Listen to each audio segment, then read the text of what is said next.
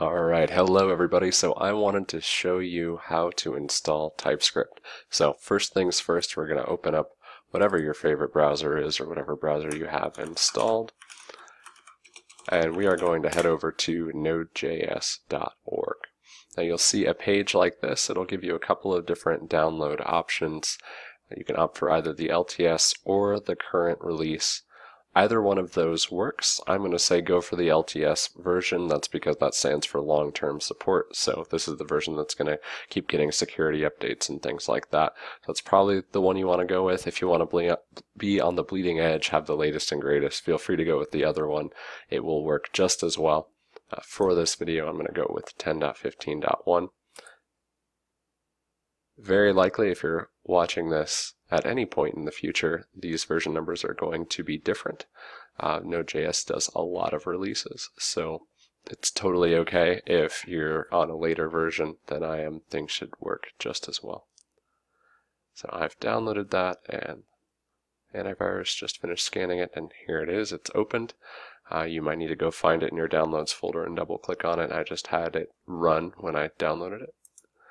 We're just going to click through here. We're going to accept the license agreement. We're going to accept the default install path. We're going to leave all these things on the defaults. We're going to click install. We'll get our security prompt here. We'll say yes so that it can install.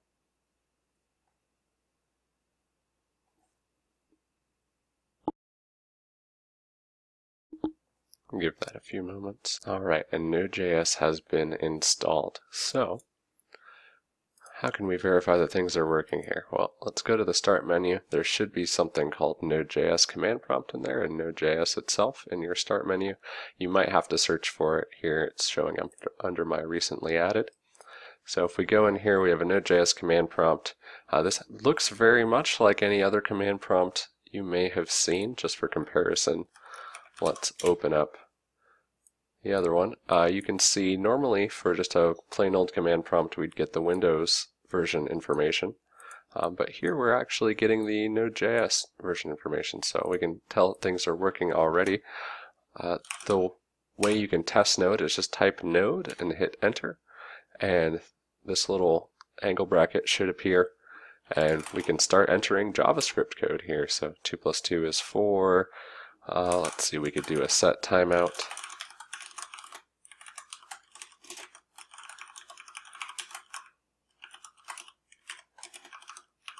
So in five seconds that should display something. And there it is. If you want to get out of here, just hit Control C twice, and then you're back on the normal command prompt. So let's install TypeScript. So, alright, so to install TypeScript, we're going to use something called NPM. If you're unfamiliar with NPM, that stands for the Node Package Manager, and that's how lots of different Node.js-based libraries and programs are distributed, TypeScript among them.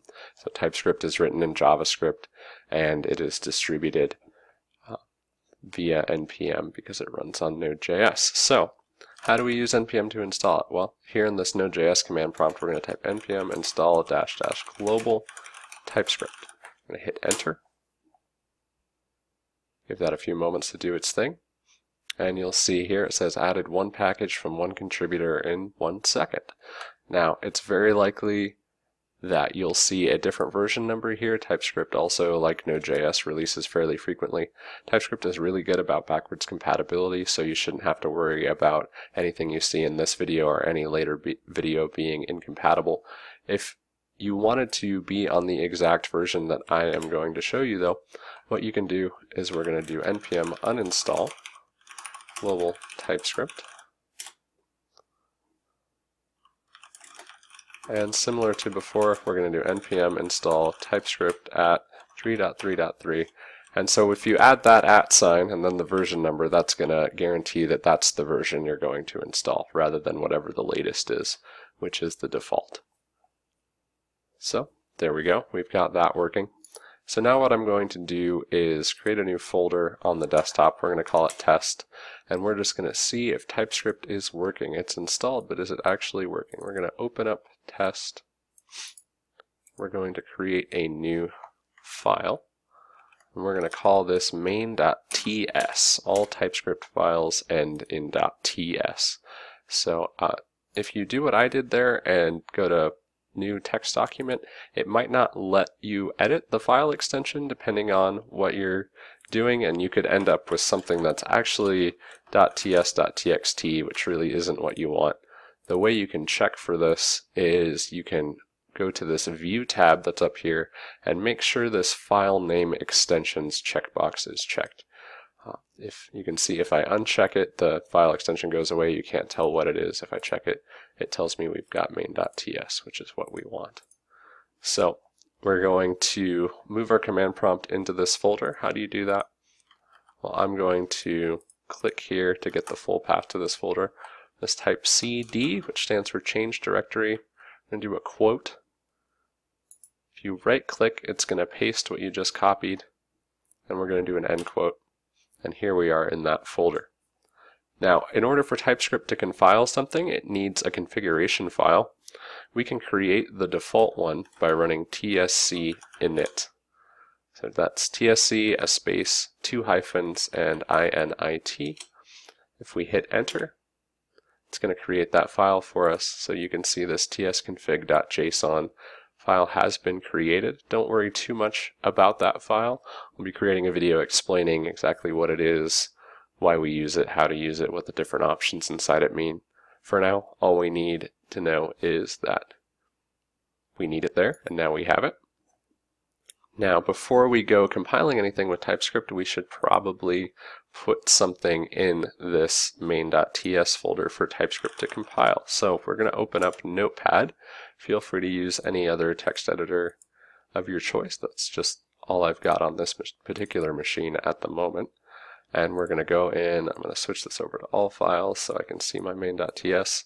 And we're just going to write a super simple hello world program.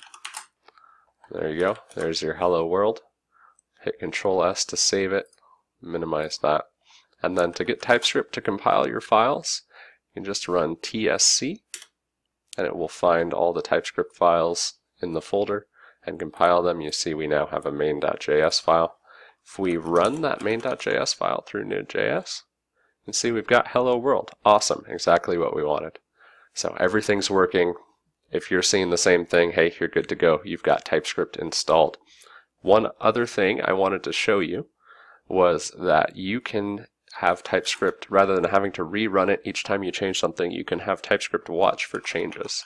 So what we're going to do is we're going to do TSC and then a space, two hyphens, and watch. We're going to hit enter. See, it gives us a little message starting compilation in watch mode. Move this so you can see it. And then I'm going to say hello world again. And I'm going to hit control S to save right now. And you'll see that flashed a bit said file change detected, zero errors. Uh, we're going to open up another Node.js command prompt. Do the same thing we did before so we can run this. And you can see if we run our main.js, hey, it says hello world again, just like we wanted. One thing that's really nice about this is that if you make a mistake, here I'm going to forget to have the closing parenthesis and semicolon. If we save this, TypeScript's going to give us an error and say, hey, I expected a closing parenthesis here. And so we can add that back in and save it, and everything's happy again. So, very cool. You've got TypeScript installed. By the way, if you're interested in going deep into learning TypeScript, I've got this TypeScript by example course that I'm working on.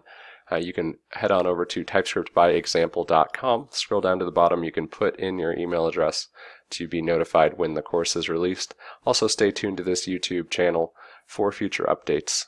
Thank you so much for watching. Goodbye.